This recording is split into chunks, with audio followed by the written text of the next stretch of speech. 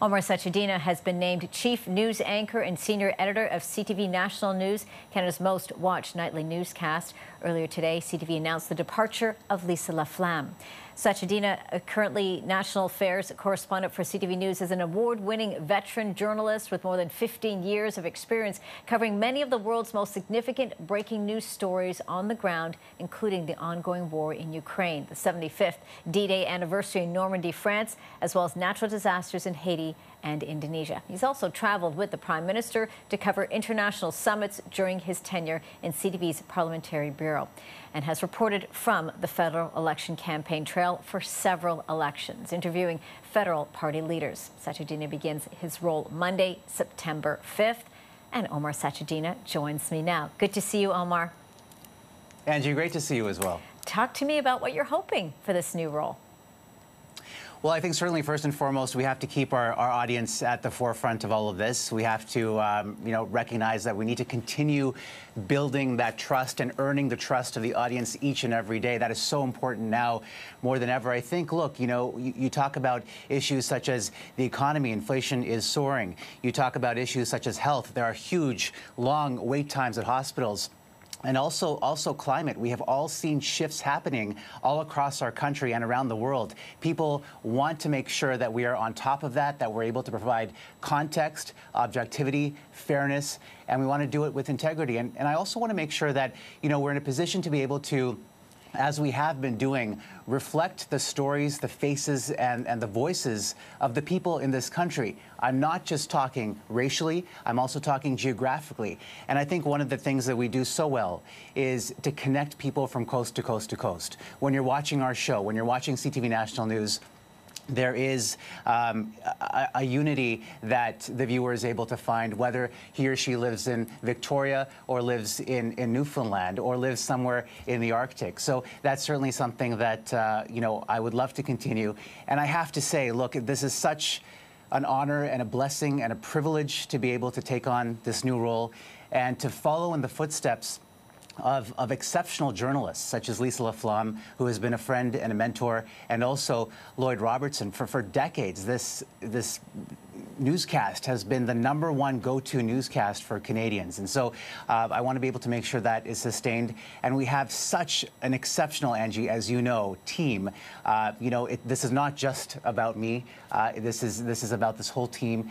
And they are tireless, they're dedicated, and I know they are absolutely committed to making sure we continue the great work that we've been doing. Indeed, and I think you've kind of answered my second question with all of that in terms of what you're most excited about, which, I mean, there's so much there. But talk to us, tell Canadians about some of the stories that you've covered so far in your career that really stayed with you.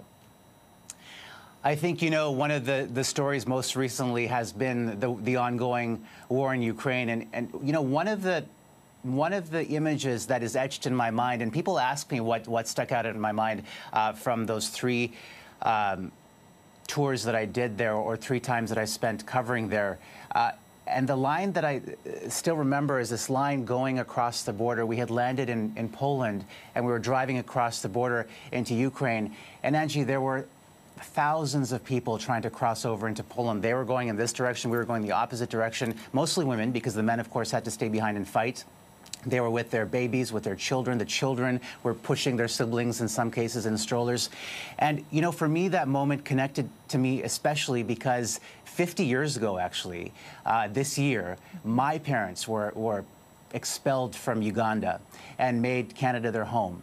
And so, you know, I, I, could only imagine in that moment what they must have been going through, having seen these children and these people trying to flee their own country. Uh, and so, you know, it, that really, for me, put into context what the struggle must have been. You know, these people left everything they had, and, and the Ukrainians were leaving everything they had, and, and these families were literally split apart. Mm -hmm. And so that was something that will be etched into my mind. Uh, of course, it's it's a story that you know we are, are, on top of, we need to stay on top of. Um, certainly a lot of people have, have been hurting. Entire families, as I mentioned, have been split up. And um, so, you know, the, these stories really affect people, and we have to make sure that you know Canadians are, are aware of that, and Canadians have been so generous in in welcoming uh, Ukrainians and also making sure they're giving to Ukrainians as well. So that that has been the story most re- recently that has stuck to me. Indeed. So, what is your message then to the lawyer, loyal viewers of Canada's most watched national newscast, Omar?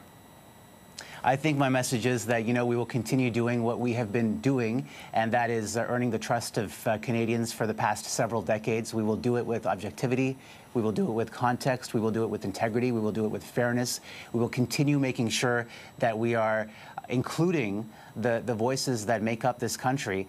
And we will also make sure that, you know, we are br bringing this information across a variety of, of platforms. People are consuming, as we know, news in different ways, and it's up to us to be at the forefront of this as well. Always good to speak with you. Thanks so much for this, Omar. Thank you, my friend.